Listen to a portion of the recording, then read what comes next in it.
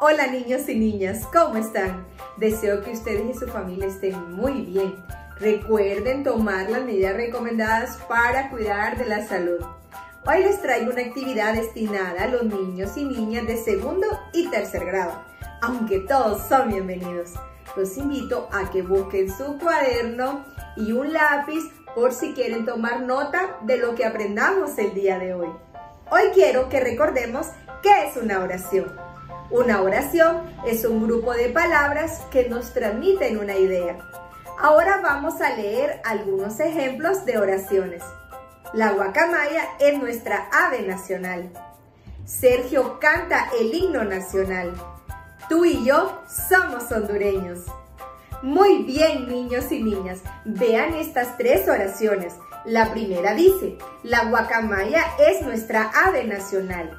La segunda, Sergio canta el himno nacional. Y la última, tú y yo somos hondureños. ¿Qué notan en común en estas oraciones? Quiero que se fijen bien en cómo inicia y cómo termina cada oración. ¿Ya lo notaron? Muy bien, cada oración inicia con letra mayúscula y finaliza en un punto. Ahora les voy a explicar por qué. Las letras mayúsculas tienen muchos usos en el español. Por ejemplo, para escribir nombres propios, después del punto, y hoy aprenderemos a usarlas al inicio de una oración. Veamos los siguientes ejemplos. Como pueden notar, en esta oración se ha iniciado con letra mayúscula.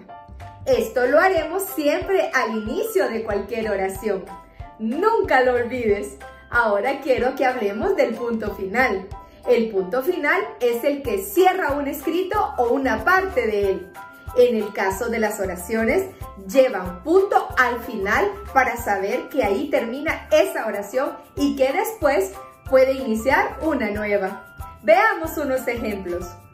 Quiero que observen este párrafo y que me digan cuántas oraciones tienen. Les doy un momento para que piensen.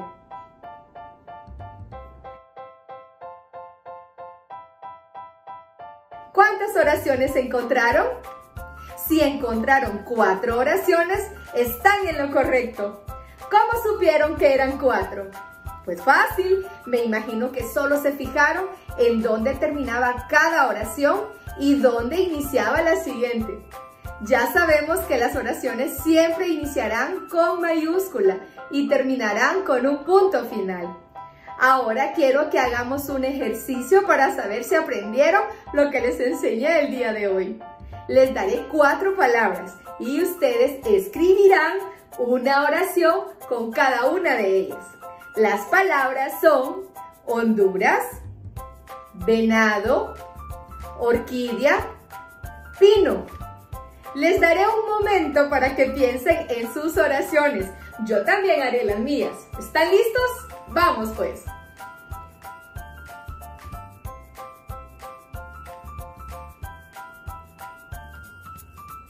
Muy bien, niños y niñas.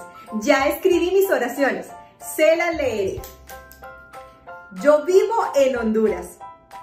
Ayer vimos un venado muy bonito. Las orquídeas crecen en los bosques. En esa montaña hay muchos pinos. Como pudieron notar, en cada oración usé mayúscula, al inicio y al punto final. Quiero que ustedes terminen de escribir las oraciones con las palabras que les dicté. Además, escriban otras oraciones con las palabras bandera, escudo, himno, prócer e independencia.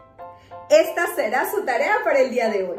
Recuerden, mayúsculas al inicio y punto al final. Eso es todo por hoy. Estoy segura que ustedes son muy responsables y se están cuidando mucho. Y recuerda, niño o niña, te queremos estudiando en casa. Hasta la próxima.